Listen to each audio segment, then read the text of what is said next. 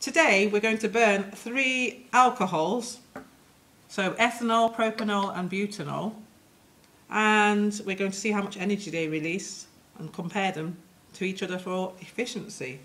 So first thing we need to do is make sure we're safe by wearing goggles and an apron and the hair tied back and ties tucked in.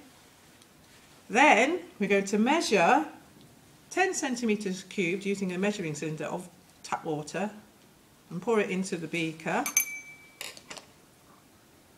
Put it onto the gauze on the tripod. We're going to take the initial temperature of the water before we start so we know where our starting temperature is. Then we are going to light one of our fuels carefully, making sure the wick is standing up there. Give it a light.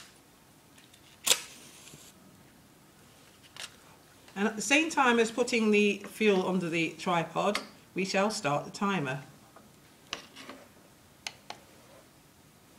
We will heat the water for five minutes and then stop the timer and record the temperature at the end.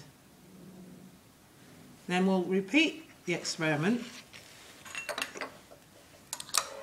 with the next fuel, making sure we have fresh water and the new starting temperature, making sure the starting temperature is the same.